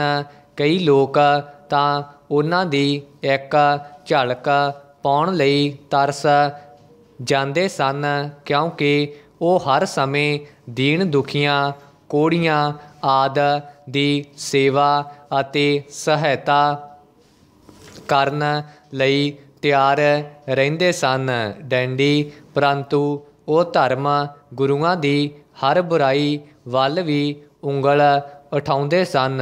ਡੈਂਡੀ ਇਸੇ ਕਾਰਨ ਉਸ ਸਮੇਂ ਦੇ ਯਹੂਦੀ ਧਾਰਮਿਕ ਨੇਤਾ ਉਹਨਾਂ ਦੇ ਖਿਲਾਫ ਹੋ ਗਏ ਅਤੇ ਉਹਨਾਂ ਦੇ ਪਿਆਰ ਦੇ ਫਲਸਫੇ ਨੂੰ ਸਮਝ ਨਾ ਸਕੇ। ਡੈਂਡੀ, ਉਹ ਪ੍ਰਭੂ ਯਿਸੂ ਨੂੰ ਆਪਣੇ ਰਸਤੇ ਚੋਂ ਲਾਂਭੇ ਕਰਨ ਦੀਆਂ ਸਾਜ਼ਿਸ਼ਾਂ ਰਚਣ ਲੱਗੇ। ਡੈਂਡੀ ਇੱਕ ਦਿਨ ਜਦੋਂ ਪ੍ਰਭੂ ਯਿਸੂ ਯਹੂਦੀਆਂ ਦੇ ਯਰੂਸ਼ਲਮ ਵਿਚਲੇ ਕੇਂਦਰੀ ਧਾਰਮਿਕ ਸਥਾਨ ਵਿਖੇ ਗਏ ਅਤੇ ਉਸ ਸਥਾਨ ਦੀ ਪਵਿੱਤਰਤਾ ਭੰਗ ਹੁੰਦੀ ਵੇਖੀ ਤਾਂ ਉਹਨਾਂ ਕੋਲੋਂ ਰਿਹਾ ਨਾ ਗਿਆ। ਡੈਂਡੀ, ਉਹ ਉਹਨਾਂ ਲੋਕਾਂ ਨੂੰ ਕਹਿਣ ਲੱਗੇ ਕਿ ਇਹ ਰੱਬ ਦਾ ਘਰ ਹੈ, ਜਿਸ ਨੂੰ ਤੁਸੀਂ ਵਣਜ ਵਪਾਰ ਦਾ ਵੱਡਾ ਅੱਡਾ ਬਣਾ ਰੱਖਿਆ ਹੈ। ਡੈਂਡੀ ਇਸ ਤੇ ਉਹ ਅੱਗ ਬਬੂਲੇ ਹੋ ਗਏ ਅਤੇ ਇੱਕ ਦੂਜੇ ਨੂੰ ਕਹਿਣ ਲੱਗੇ ਕਿ ਤੁਹਾਡੇ ਕੋਲੋਂ ਕੁਝ ਨਹੀਂ ਬਣ ਰਿਹਾ। ਇਸ ਨੇ ਸਾਰੀ ਦੁਨੀਆ ਨੂੰ ਆਪਣੇ ਮਗਰ ਲਾ ਲਿਆ ਹੈ। ਡੰਡੀ, ਉਹ ਤਾਂ ਉਸੇ ਦਿਨ ਉਹਨਾਂ ਨੂੰ ਮਾਰ ਮੁਕਾਉਣਾ ਚਾਹੁੰਦੇ ਸਨ, ਪਰ ਦਿਨ ਤਿਉਹਾਰ ਦਾ ਹੋਣ ਕਾਰਨ ਉਹ ਅਜਿਹਾ ਨਾ ਕਰ ਸਕੇ। ਡੈਂਡੀ, ਪਰੰਤੂ ਉਹਨਾਂ ਨੇ ਪ੍ਰਭੂ ਯਿਸੂ ਦੇ ਇੱਕ ਲਾਲਚੀ ਚੇਲੇ ਯਹੂਦਾ ਇਸ ਕਰਯੋਤੀ ਨੂੰ ਆਪਣੇ ਨਾਲ ਰਲਾ ਲਿਆ ਅਤੇ ਉਸ ਨੇ ਤੀਹ ਰੁਪਏ ਲੈ ਕੇ ਉਹਨਾਂ ਨੂੰ ਦੁਸ਼ਮਣਾਂ ਦੇ ਹੱਥ ਫੜਵਾ ਦਿੱਤਾ। ਡੈਂਡੀ ਫਿਰ ਉਹਨਾਂ ਧਰਮ ਗੁਰੂਆਂ ਅਤੇ ਉਹਨਾਂ ਦੁਆਰਾ ਇਕੱਠੀ ਕੀਤੀ ਹੋਈ ਭੀੜ ਨੇ ਪ੍ਰਭੂ ਯਿਸੂ ਵਿਰੁੱਧ ਕਈ ਝੂਠੀਆਂ ਗਵਾਹੀਆਂ ਦਿੱਤੀਆਂ, ਪਰੰਤੂ ਉਹਨਾਂ ਦੀਆਂ ਗਵਾਹੀਆਂ ਆਪਸ ਵਿੱਚ ਮੇਲ ਨਹੀਂ ਸੀ ਖਾਂਦੀਆਂ। ਡੈਂਡੀ ਉਹਨਾਂ ਨੇ ਪ੍ਰਭੂ ਯਿਸੂ ਤੇ ਕਈ ਦੋਸ਼ ਲਾਏ, ਜਿਵੇਂ ਇਹ ਰਾਜੇ ਨੂੰ ਟੈਕਸ ਦੇਣ ਤੋਂ ਰੋਕਦਾ ਹੈ, ਇਹ ਆਪਣੇ ਆਪ ਨੂੰ ਪਰਮੇਸ਼ਵਰ ਦਾ ਪੁੱਤਰ ਕਹਿ ਕੇ ਉਸ ਦਾ ਤੌਲ ਬਣਾਉਂਦਾ ਹੈ। ਡੈਂਡੀ ਇਹ ਕਹਿੰਦਾ ਹੈ ਕਿ ਮੈਂ ਹੈਕਲ ਰੱਬ ਦਾ ਘਰ ਨੂੰ ਢਾ ਕੇ ਤਿੰਨ ਦਿਨਾਂ ਵਿੱਚ ਮੁੜ ਬਣਾ ਦਿਆਂਗਾ ਆਦਿ ਡੈਂਡੀ। ਫਿਰ ਉਹ ਆਪੇ ਹੀ ਵਕੀਲ ਅਤੇ ਜੱਜ ਬਣ ਗਏ ਅਤੇ ਉਹਨਾਂ ਨੇ ਪ੍ਰਭੂ ਯਿਸੂ ਨੂੰ ਸਰੀਰਕ ਅਤੇ ਮਾਨਸਿਕ ਕਸ਼ਟ ਦਿੱਤੇ। ਡੈਂਡੀ ਉਹਨਾਂ ਲਈ ਮੌਤ ਦਾ ਫਤਵਾ ਜਾਰੀ ਕਰ ਦਿੱਤਾ, ਪਰੰਤੂ ਉਹ ਆਪ ਕਿਸੇ ਨੂੰ ਇਹ ਸਜ਼ਾ ਨਹੀਂ ਸੀ ਦੇ ਸਕਦੇ। ਡੈਂਡੀ ਇਸ ਲਈ ਉਹ ਪ੍ਰਭੂ ਯਿਸੂ ਮਸੀਹ ਨੂੰ ਰੋਮੀ ਹਾਕਮ ਪਿਲਾਤੂਸ ਲੋਕ ਲੈ ਗਏ। ਡੈਂਡੀ ਸਟਾਰਟ ਰੋਮੀ ਹਾਕਮ ਪਿਲਾਤੂਸ ਜਦੋਂ ਪ੍ਰਭੂ ਯਿਸੂ ਦੇ ਕੇਸ ਦੀ ਜਾਂਚ ਪੜਤਾਲ ਕਰ ਚੁੱਕਿਆ ਤਾਂ ਉਹ ਇਸ ਸਿੱਟੇ ਤੇ ਪਹੁੰਚਿਆ ਕਿ ਇਹ ਤਾਂ ਇੱਕ ਬੇਦੋਸ਼ਾ ਮਨੁੱਖ ਹੈ ਜੋ ਲੋਕ ਇਸ ਨੂੰ ਮੌਤ ਦੀ ਸਜ਼ਾ ਦੇ ਰਹੇ ਹਨ। ਉਹ ਕੇਵਲ ਇਸ ਨਾਲ ਈਰਖਾ ਕਰਕੇ ਅਜਿਹਾ ਕਰ ਰਹੇ ਹਨ। ਡੰਡੀ, ਇਸ ਲਈ ਉਸ ਨੇ ਦੋ ਵਾਰ ਪ੍ਰਭੂ ਯਿਸੂ ਨੂੰ ਬਚਾਉਣ ਦੀ ਕੋਸ਼ਿਸ਼ ਕੀਤੀ। ਡੈਂਡੀ ਪਹਿਲੀ ਵਾਰ ਉਦੋਂ ਜਦੋਂ ਉਸ ਨੇ ਕਿਹਾ, ਮੈਂ ਇਸ ਮਨੁੱਖ ਵਿੱਚ ਕੋਈ ਦੋਸ਼ ਨਹੀਂ ਵੇਖਦਾ। ਇਸ ਲਈ ਮੈਂ ਇਸ ਨੂੰ ਕੋਰੜੇ ਮਾਰ ਕੇ ਛੱਡ ਦੇਵਾਂਗਾ, ਡੈਂਡੀ। ਦੂਜਾ, ਉਸ ਸਮੇਂ ਜਦੋਂ ਉਸ ਨੇ ਕਿਹਾ ਕਿ ਤਿਉਹਾਰ ਦਾ ਮੌਕਾ ਹੈ, ਇਸ ਸਮੇਂ ਅਸੀਂ ਇੱਕ ਅਪਰਾਧੀ ਨੂੰ ਛੱਡ ਸਕਦੇ ਹਾਂ। ਸਾਡੇ ਕੋਲ ਦੋ ਅਪਰਾਧੀ ਹਨ, ਇੱਕ ਯਿਸੂ ਅਤੇ ਦੂਜਾ ਦੰਗਾਕਾਰੀ ਬਰੱਬਾ। ਦੱਸੋ, ਮੈਂ ਇਹਨਾਂ ਦੋਵਾਂ ਵਿੱਚੋਂ ਕਿਸ ਨੂੰ ਛੱਡਾਂ? ਡੰਡੀ, ਇਸ ਉੱਤੇ ਉਹ ਕੱਟੜਪੰਥੀ ਲੋਕ ਅਤੇ ਉਹਨਾਂ ਦੁਆਰਾ ਇਕੱਠੀ ਕੀਤੀ ਭੀੜ ਜ਼ੋਰ-ਜ਼ੋਰ ਨਾਲ ਡੰਡ ਪਾ ਕੇ ਕਹਿਣ ਲੱਗੀ, ਬਰੱਬਾ, ਨੂੰ ਛੱਡੋ, ਯਿਸੂ ਨੂੰ ਸਲੀਬ ਦਿਓ ਸਲੀਬ ਦਿਓ। ਡੰਡੀ ਆਪਣੀ ਪੇਸ਼ ਨਾ ਜਾਂਦੀ ਵੇਖ ਕੇ ਪਿਲਾਤੂਸ ਨੇ ਪਾਣੀ ਮੰਗਵਾਇਆ ਅਤੇ ਸਾਰਿਆਂ ਦੇ ਸਾਹਮਣੇ ਆਪਣੇ ਹੱਥ ਧੋਤੇ ਤੇ ਕਿਹਾ, ਮੈਂ ਇਸ ਨਿਰਦੋਸ਼ ਮਨੁੱਖ ਦੇ ਖੂਨ ਤੋਂ ਬਰੀ ਹਾਂ। ਇਹਦਾ ਖੂਨ ਤੁਹਾਡੇ ਅਤੇ ਤੁਹਾਡੇ ਬੱਚਿਆਂ ਤੇ ਪਵੇ। ਡੰਡੀ ਇਹਨਾਂ ਆ ਕੇ ਉਸ ਨੇ ਪ੍ਰਭੂ ਯਿਸੂ ਨੂੰ ਸਲੀਬ ਤੇ ਚੜਾਉਣ ਲਈ ਜ਼ਾਲਮਾਂ ਦੇ ਹੱਥ ਦੇ ਦਿੱਤਾ। ਡੰਡੀ ਇਸੇ ਦੌਰਾਨ ਪ੍ਰਭੂ ਯਿਸੂ ਮਸੀਹ ਨੂੰ ਜਿਸ ਲਾਲਚੀ ਚੇਲੇ ਨੇ ਫੜਵਾਇਆ ਸੀ ਉਸ ਨੂੰ ਜਦੋਂ ਪਤਾ ਲੱਗਾ ਕਿ ਉਸ ਨੂੰ ਮੌਤ ਦੀ ਸਜ਼ਾ ਦਿੱਤੀ ਜਾ ਰਹੀ ਹੈ, ਤਾਂ ਉਸ ਨੇ ਪਛਤਾਵੇ ਵਜੋਂ ਖੁਦਕੁਸ਼ੀ ਕਰ ਲਈ। ਡੰਡੀ ਉਸ ਨੂੰ ਦੁੱਖ ਸੀ ਕਿ ਮੈਂ ਇੱਕ ਬੇਗੁਨਾਹ ਵਿਅਕਤੀ ਨੂੰ ਫੜਵਾ ਕੇ ਪਾਪ ਕੀਤਾ ਹੈ। ਡੰਡੀ ਰਾਜਾ ਵੀ ਕਹਿ ਰਿਹਾ ਸੀ ਕਿ ਯਿਸੂ ਮਸੀਹ ਬੇਕਸੂਰ ਹੈ। ਫਿਰ ਵੀ ਉਸ ਵੇਲੇ ਦੀ ਸਭ ਤੋਂ ਵੱਧ, ਘ੍ਰਿਣਤ ਅਤੇ ਭਿਆਨਕ ਸਲੀਬੀ ਮੌਤ ਦੀ ਸਜ਼ਾ ਯਿਸੂ ਨੂੰ ਦਿੱਤੀ ਗਈ। ਡੰਡੀ ਉਹਨਾਂ ਨੇ ਪ੍ਰਭੂ ਯਿਸੂ ਮਸੀਹ ਨੂੰ ਉਹਨਾਂ ਦੇ ਹੱਥਾਂ ਅਤੇ ਪੈਰਾਂ ਵਿੱਚ ਕੈਲ ਠੁਕਵਾ ਕੇ ਸਲੀਬ ਤੇ ਲਟਕਾ ਦਿੱਤਾ ਅਤੇ ਵੱਡੇ ਵੱਡੇ ਕੰਡਿਆਂ ਦਾ ਇੱਕ ਤਾਜ ਬਣਾ ਕੇ ਉਹਨਾਂ ਦੇ ਸਿਰ ਤੇ ਰਖਵਾ ਦਿੱਤਾ। ਡੈਂਡੀ ਕੋਲੋਂ ਦੀ ਲੰਘਣ ਵਾਲੇ ਲੋਕ ਅਤੇ ਸਿਪਾਹੀ ਉਹਨਾਂ ਨੂੰ ਤਾਨੇ ਮਿਹਣੇ ਮਾਰ ਕੇ ਮਾਨਸ, ਮਾਨਸਿਕ ਪੀੜਾ ਵੀ ਦੇ ਰਹੇ ਸਨ। ਡੈਂਡੀ ਪਰੰਤੂ ਪ੍ਰਭੂ ਯਿਸੂ ਮਸੀਹ ਨੇ ਆਪਣੇ ਸਾਰੇ ਦੁੱਖ ਦੇਣ ਵਾਲਿਆਂ ਲਈ ਆਪਣੇ ਪਿਤਾ ਪਰਮੇਸ਼ਵਰ ਅੱਗੇ ਪ੍ਰਾਰਥਨਾ ਕੀਤੀ हे ਪਿਤਾ, ਉਹਨਾਂ ਨੂੰ ਮੁਆਫ ਕਰ, ਕਿਉਂਕਿ ਉਹ ਨਹੀਂ ਜਾਣਦੇ ਕਿ ਉਹ ਕੀ ਕਰ ਰਹੇ ਹਨ। ਡੈਂਡੀ ਅੰਤੋਂ ਸਲੀਬ ਉੱਤੇ ਆਪਣੇ ਪ੍ਰਾਣ ਨਿਸ਼ਾਵਰ ਕਰ ਗਏ। ਡੈਂਡੀ ਇਸ ਤਰ੍ਹਾਂ ਅਸੀਂ ਵੇਖਦੇ ਹਾਂ ਕਿ ਉਹਨਾਂ ਨੇ ਆਪਣਾ ਪੂਰਾ ਜੀਵਨ ਦੁਖੀ ਮਾਨਵਤਾ ਦੇ ਲੇਖੇ ਲਗਾ ਦਿੱਤਾ। ਡੰਡੀ ਪਵਿੱਤਰ ਲਿਖਤਾਂ ਅਨੁਸਾਰ ਉਹ ਮਨੁੱਖ ਜਾਤੀ ਦੇ ਉਧਾਰ ਨਜਾਤ ਲਈ ਆਪਣੀ ਜਾਨ ਦੇ ਕੇ ਮਨੁੱਖ ਮਾਤਰ ਨੂੰ ਦੂਜਿਆਂ ਦੀ ਖਾਤਰ ਜਿਉਣ ਅਤੇ ਮਰਨ ਦੀ ਜਾਂਚ ਦੱਸ ਗਏ, ਡੈਂਡੀ। ਅੱਜ ਜਦੋਂ ਭਾਰਤ ਸਮੇਤ ਦੁਨੀਆ ਭਰ ਵਿੱਚ ਉਹਨਾਂ ਦਾ ਬਲੀਦਾਨ ਦਿਵਸ ਗੁੱਡ ਫਰਾਈਡੇ ਦੇ ਤੌਰ ਤੇ ਮਨਾਇਆ ਜਾ ਰਿਹਾ ਹੈ, ਤਾਂ ਇਹ ਸਾਨੂੰ ਸਾਰਿਆਂ ਨੂੰ ਇਸ ਗੱਲ ਦਾ ਸੁਨੇਹਾ ਦਿੰਦਾ ਹੈ ਕਿ ਅਸੀਂ ਉਹਨਾਂ ਦੀ ਸੇਵਾ ਮੁਆਫੀ ਤੇ ਆਪਣੇ ਅਸੂਲਾਂ ਤੇ ਦ੍ਰਿੜ ਰਹਿਣ ਵਰਗੇ ਨਕਸ਼ੇ ਕਦਮਾਂ ਤੇ ਚੱਲੀਏ, ਜਿਨ੍ਹਾਂ ਦਾ ਸਭ ਤੋਂ ਪਹਿਲਾਂ ਉੱਤਮ ਨਮੂਨਾ ਉਹ ਖੁਦ ਬਣੇ ਡੰਡੀ। ਹੁਣ ਜਦੋਂ ਪੰਜਾਬ ਦੀਆਂ ਆਗਾਮੀ ਚੋਣਾਂ ਵਿੱਚ ਇੱਕ ਸਾਲ ਤੋਂ ਵੀ ਘੱਟ ਦਾ ਸਮਾਂ ਬਚਿਆ ਹੈ ਅਤੇ ਚੋਣ ਜਾਬਤਾ ਲੱਗਣ ਵਿੱਚ ਤਾਂ ਮਸੀਂ 6-7 ਮਹੀਨਿਆਂ ਦਾ ਸਮਾਂ ਹੀ ਬਾਕੀ ਹੈ ਡੰਡੀ।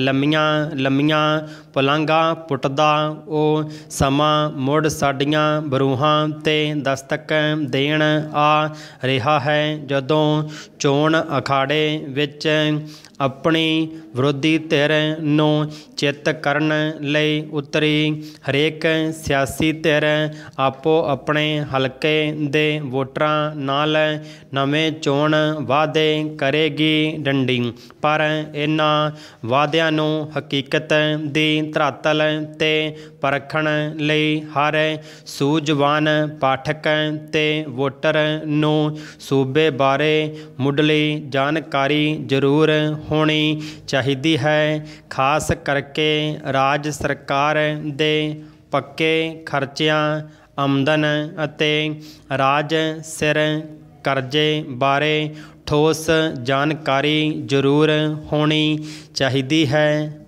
ਟੰਡੀ ਇਸੇ ਤਰ੍ਹਾਂ ਦੀ ਜਾਣਕਾਰੀ ਹਾਸਲ ਕਰ ਲੈਣ ਤੋਂ ਬਾਅਦ ਵੋਟਰ ਇਹ ਸਮਝਣ ਦੇ ਸਮਰੱਥ ਹੋ ਜਾਵੇਗਾ ਕਿ ਕੀ ਸੰਭਵ ਹੈ ਅਤੇ ਕੀ ਅਸੰਭਵ ਡੰਡੀ। ਇਸ ਵਿਚਕਾਰ ਉਹ ਇੱਕ ਲਾਈਨ ਖਿੱਚ ਸਕੇਗਾ ਡੰਡੀ। ਹਾਲ ਹੀ ਵਿੱਚ ਕੇਂਦਰ ਸਰਕਾਰ ਵੱਲੋਂ ਪਾਸ ਕੀਤੇ ਤਿੰਨ ਖੇਤੀ ਕਾਨੂੰਨ ਅਤੇ ਫਸਲਾਂ ਦਾ ਘੱਟੋ ਘੱਟ ਸਮਰਥਨ ਮੁੱਲ ਉਹ ਦੋ ਮੁੱਖ ਮੁੱਦੇ ਹੋਣਗੇ ਜਿਨ੍ਹਾਂ ਦੇ ਆਗਾਮੀ ਵਿਧਾਨ ਸਭਾ ਚੋਣਾਂ ਵਿੱਚ ਸਭ ਤੋਂ ਵੱਧ ਛਾਏ ਰਹਿਣ ਦੀ ਸੰਭਾਵਨਾ ਹੈ। ਡੰਡੀ, ਚੋਣ ਲੜਨ ਵਾਲੀ ਹਰੇਕ ਪਾਰਟੀ ਇਹ ਦਾਵਾ ਕਰਦੀ ਨਜ਼ਰ ਆਏਗੀ ਕਿ ਸੱਤਾ ਵਿੱਚ ਆਉਣ ਉਪਰੰਤ ਉਹ ਇਹ ਖੇਤੀ ਕਾਨੂੰਨ ਸੂਬੇ ਵਿੱਚ ਲਾਗੂ ਨਹੀਂ ਹੋਣ ਦੇਣਗੇ ਅਤੇ ਫਸਲਾਂ ਤੋਂ ਇਲਾਵਾ ਉਹ ਫਲਾਂ ਫਲਾਂ, ਵਸਤਾਂ ਤੇ ਵੀ ਸਰਕਾਰੀ ਮੁੱਲ ਦੀ ਵਿਵਸਥਾ ਕਰ ਦੇਣਗੇ ਡੰਡੀ। ਇਸ ਤੋਂ ਇਲਾਵਾ ਪੰਜਾਬ ਸਿਰ ਚੜੇ ਕਰਜ਼ੇ ਦੀ ਰਕਮ ਬਾਰੇ ਤੁਹਾਨੂੰ ਦੱਸਿਆ ਜਾਵੇਗਾ ਡੰਡੀ। ਕਿਸਾਨ ਖੁਦਕੁਸ਼ੀਆਂ ਦੀ ਗੱਲ ਹੋਵੇਗੀ।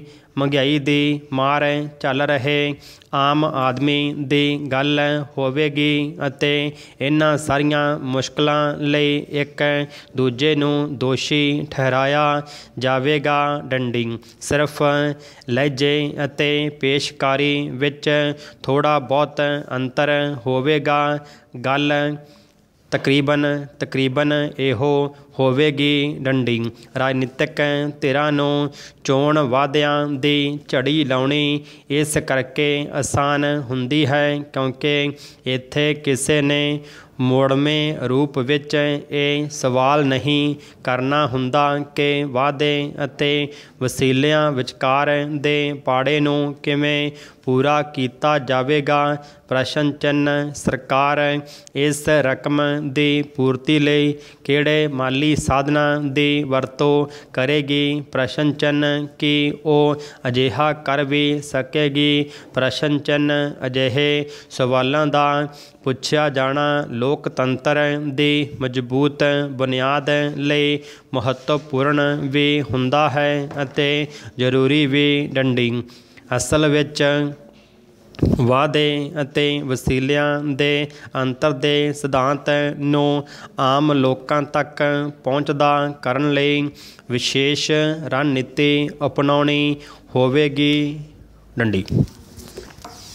ਆਪਣੇ ਹਿੱਤ ਦੀ ਗੱਲ ਤੇ ਅੱਖਾਂ ਮੀਟ ਕੇ ਭਰੋਸਾ ਕਰਨ ਪਿੱਛੇ ਇੱਕ ਮਨੋਵਿਗਿਆਨਕ ਪੱਖ ਵੀ ਹੈ ਡੰਡੀ। ਸਾਡੀ ਇਹੋ ਮਾਨਸਿਕ ਕਮਜ਼ੋਰੀ ਸਾਡੇ ਨਾਲ ਹੁੰਦੀ ਸਭ ਤਰ੍ਹਾਂ ਦੀ ਠੱਗੀ ਦਾ ਕਾਰਨ ਬਣਦੀ ਹੈ ਡੰਡੀ। ਕਦੀ ਸਾਨੂੰ ਕੋਈ ਲਾਟਰੀ ਨਿਕਲਣ ਦੀ ਖੁਸ਼ਖਬਰੀ, ਕਦੀ ਵਿਦੇਸ਼ ਭੇਜਣ ਦਾ ਝਾਂਸਾ, ਕਦੇ ਨੌਕਰੀ ਲਗਾਉਣ ਦਾ ਲਾਰਾ, ਕਦੇ ਕਿਸੇ ਮੋਬਾਈਲ ਕੰਪਨੀ ਦਾ ਟਾਵਰ ਲਗਵਾ ਕੇ ਦੇਣ ਦੇ ਨਾਂ 'ਤੇ ਅਸੀਂ ਇਸੇ ਕਰਕੇ ਠੱਗੇ ਜਾਂਦੇ ਹਾਂ ਕਿ ਅਸੀਂ ਮੋੜਵਾਂ ਸਵਾਲ ਕਰਨਾ ਸਿੱਖੇ ਹੀ ਨਹੀਂ ਹਾਂ ਡੰਡੀ। ਇਸੇ ਮਨੋਵਿਗਿਆਨਕ ਪੱਖ ਨਾਲ ਸੰਬੰਧਿਤ ਸਾਡੀ ਮਾਨਸਿਕ ਕਮਜ਼ੋਰੀ ਬਾਰੇ ਸਾਡੀਆਂ ਰਾਸੀ ਪਾਰਟੀਆਂ ਬਾਖੂਬੀ ਜਾਣੂ ਹੁੰਦੀਆਂ ਹਨ ਡੰਡੀ। ਅਸੀਂ ਹਰ ਉਸ ਗੱਲ ਤੇ ਬਿਨਾਂ ਕਿੰਤੂ ਪਰੰਤੂ ਯਕੀਨ ਕਰ ਲੈਣਾ ਹੁੰਦਾ ਹੈ ਜੋ ਸਾਨੂੰ ਆਪਣੇ ਹਿੱਤ ਦੀ ਲੱਗਦੀ ਹੋਵੇ ਡੰਡੀ। ਚੁਣਾਵੀ ਵਾਅਦੇ ਵੀ ਅਸਲ ਵਿੱਚ ਸਾਡੇ ਹਿੱਤ ਦੀ ਗੱਲ ਹੀ ਹੁੰਦੇ ਹਨ। ਡੰਡੀ। ਵਿਕਸਿਤ ਮੁਲਕਾਂ ਵਿੱਚ ਚੋਣ ਲੜਨ ਵਾਲੇ ਲਈ ਇਹ ਕੰਮ ਇੰਨਾ ਸੌਖਾ ਨਹੀਂ ਹੁੰਦਾ, ਲਿਹਾਜ਼ਾ ਉਸ ਨੂੰ ਪੂਰੀ ਤਿਆਰੀ, ਜਿਸ ਨੂੰ ਅਸੀਂ ਹੋਮਵਰਕ ਕਹਿੰਦੇ ਹਾਂ, ਕਰਕੇ ਆਉਣਾ ਪੈਂਦਾ ਹੈ। ਡੰਡੀ। ਉਹ ਜਾਣਦਾ ਹੈ ਕਿ ਰਾਜਨੀਤਿਕ ਇਕੱਠ ਜਿਸ ਨੂੰ ਉਸਨੇ ਸੰਬੋਧਨ ਕਰਨ ਜਾਣਾ ਹੈ, ਵਿੱਚੋਂ ਇਹ ਸਵਾਲ ਜ਼ਰੂਰ ਹੋਣਗੇ ਕਿ ਸੰਬੰਧਿਤ ਚੋਣ ਹਲਕੇ ਦੀ ਤਰੱਕੀ ਅਤੇ ਵਿਕਾਸ ਲਈ ਉਸ ਪਾਸ ਕੀ ਯੋਜਨਾ ਹੈ, ਉਸ ਦੀਆਂ ਭਵਿੱਖੀ ਤਰਜੀਹਾਂ ਕੀ ਹੋਣਗੀਆਂ, ਆਦ ਡੰਡੀ। ਇੱਕੋ ਸਟੇਜ ਤੇ ਸਾਰੇ ਉਮੀਦਵਾਰ ਹਾਜ਼ਰ ਹੁੰਦੇ ਹਨ ਡੰਡੀ। ਜਿੱਤ ਨਸੀਬ ਉਸੇ ਨੂੰ ਹੁੰਦੀ ਹੈ, ਜਿਹੜਾ ਦਲੀਲ ਨਾਲ ਖੁਦ ਨੂੰ ਦੂਸਰਿਆਂ ਦੇ ਮੁਕਾਬਲੇ ਵਧੇਰੇ ਯੋਗ ਸਾਬਤ ਕਰ ਸਕਦਾ ਹੈ ਡੰਡੀ। ਇਹ ਕਾਰਜ ਕਠਨ ਇਸ ਕਰਕੇ ਹੈ ਕਿ ਉੱਥੇ ਖੁਦ ਨੂੰ ਮੁਕਾਬਲਤਨ ਵਧੇਰੇ ਯੋਗ ਗੱਲਾਂ ਨਾਲ ਨਹੀਂ, ਬਲਕਿ ਆਪਣੀ ਲਿਆਕਤ, ਸੂਝ ਸਮਝ ਅਤੇ ਦੂਰ ਅੰਦੇਸ਼ੀ ਨਾਲ ਸਿੱਧ ਕਰਨਾ ਹੁੰਦਾ ਹੈ। ਡੰਡੀ, ਚੋਣ ਲੜਨ ਵਾਲੇ ਸਭ ਆਗੂਆਂ ਨੂੰ ਜਨਤਾ ਸਾਹਮਣੇ ਇੱਕ ਸਾਂਝੇ ਮੰਚ ਤੇ ਇਸ ਸਵਾਲ ਦਾ ਜਵਾਬ ਦੇਣਾ ਹੁੰਦਾ ਹੈ ਕਿ ਲੋਕ ਉਸ ਨੂੰ ਵੋਟ ਕਿਉਂ ਪਾਉਣ, ਪ੍ਰਸ਼ਨ चंच अजहे मंच ते ਆਉਣ ਲਈ ਕਿਸੇ ਆਗੂ ਨੂੰ ਆਪਣੇ ਚੁਣਾਵੀ ਖਿੱਤੇ ਦੀ ਭੂਗੋਲਿਕ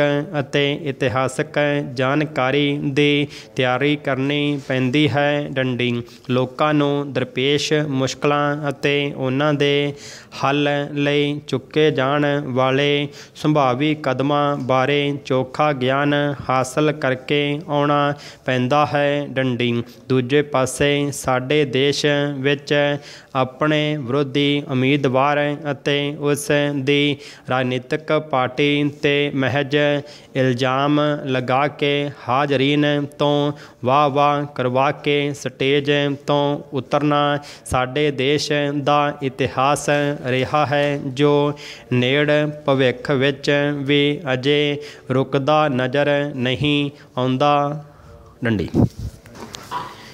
ਇਸ ਸਾਰੀ ਵਿਚਾਰ ਚਰਚਾ ਦਾ ਸਾਰ ਅੰਸ਼ ਇਹ ਹੀ ਹੋਵੇਗਾ ਕਿ ਸਾਡੇ ਕੋਲ ਦੋ ਹੀ ਬਦਲ ਹਨ। ਪਹਿਲਾ ਜਿਵੇਂ ਚੱਲਦਾ ਹੈ, ਚੱਲਣ ਦਈਏ, ਵੋਟ ਪਾਈਏ ਅਤੇ ਅਗਲੇ 5 ਸਾਲ ਸਰਕਾਰਾਂ ਸਿਰ ਦੋਸ਼ ਮੜਦੇ ਰਹੀਏ ਕਿ ਕੀਤਾ ਹੀ ਕੁਝ ਨਹੀਂ ਡੰਡੀ। ਦੂਸਰਾ ਬਦਲ ਇਹ ਹੈ ਕਿ ਇੰਨੀ ਕੁ ਜਾਣਕਾਰੀ ਜੁਟਾ ਲਈਏ ਕਿ ਰਾਸੀ ਆਗੂਆਂ ਨੂੰ ਤਰਕ ਸੰਗਤ ਵਾਅਦੇ ਕਰਨ ਲਈ ਮਜਬੂਰ ਕਰ ਦਈਏ ਡੰਡੀ। ਸਾਡੀ ਵੋਟ ਦੇ ਹੱਕਦਾਰ, ਉਮੀਦਵਾਰ ਦਾ ਧੰਨਵਾਨ ਹੋਣਾ ਕੋਈ ਜ਼ਰੂਰੀ ਨਹੀਂ।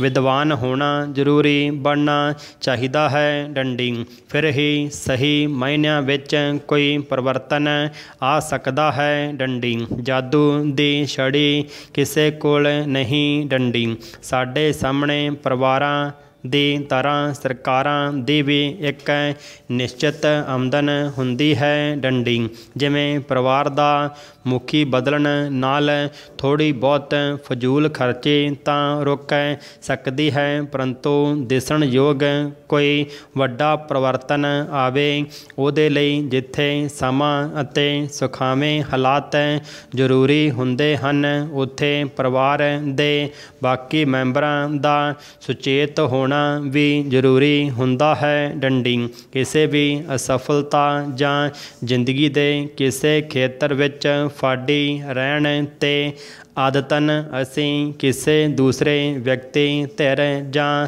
ਹਾਲਾਤ ਨੂੰ ਜ਼ਿੰਮੇਵਾਰ ਦਰਸਾਉਂਦੇ ਹਾਂ, ਜਦੋਂ ਕਿ ਮੁੱਖ ਕਾਰਨ ਖੁਦ ਵੱਲੋਂ ਕੀਤੀ ਮਿਹਨਤ ਵਿੱਚ ਕਮੀ ਹੁੰਦਾ ਹੈ। ਡੰਡੀ, ਸਾਡੇ ਦੇਸ਼ ਵਿੱਚ ਕੋਈ ਤਾਨਾਸ਼ਾਹ ਪ੍ਰਣਾਲੀ ਨਹੀਂ, ਬਲਕਿ ਲੋਕਾਂ ਦੁਆਰਾ ਚੁਣੀ ਜਾਂਦੀ ਸਰਕਾਰ ਰਾਜ ਭਾਗ ਚਲਾਉਂਦੀ ਹੈ। ਡੰਡੀ, ਅਮੂਮਨ ਵਸੋਂ ਦਾ ਇੱਕ ਤਿਹਾਈ ਹਿੱਸਾ ਤਾਂ ਵੋਟ ਪਾਉਣ ਹੀ ਨਹੀਂ ਜਾਂਦਾ। ਬਾਕੀ ਬਚੇ 65 ਫੀਸਦੀ ਹਿੱਸੇ ਵਿੱਚੋਂ ਸਰਕਾਰ ਬਣਾਉਣ ਲਈ ਲੋੜੀਂਦੀ ਵੋਟ ਪ੍ਰਤੀਸ਼ਤ ਕਿਵੇਂ ਕੱਢਣੀ ਹੈ?